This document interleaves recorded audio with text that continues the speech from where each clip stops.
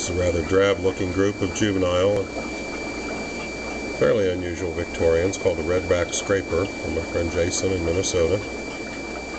Those of you into Victorians know who I'm talking about, know he's got good stuff. Quite a stellar individual up there.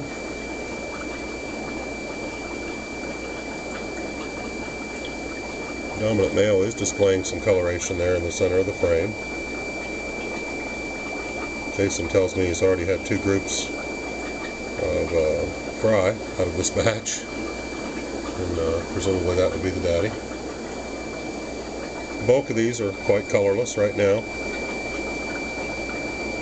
As you'd expect of the females and juvenile coloration of any of the Lake Victorian cichlids. These are, of course, in the CARES program and on the IUCN red list is virtually everything from Lake Victoria. I try not to rant about the Nile perch stupid decisions that have been made there. Just kind of enjoy having and watching a new species in my collection.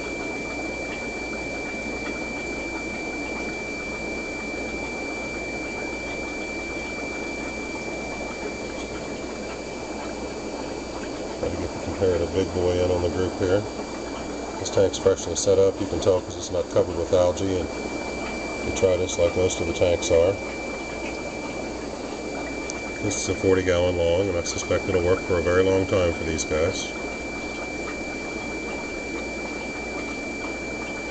Jason did not warn me about any specific aggression levels on these, so I presume they're like most of the rest somewhere in the middle on aggression. Middle water swimmers. Would have been fascinating having been able to study these in the lake to discover which portion of the water column that they occupy because the lake was stratified by the depth.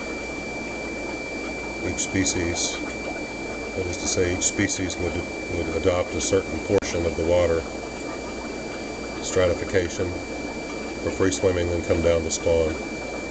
Dominant males, of course, would set up a territory and lure females into that.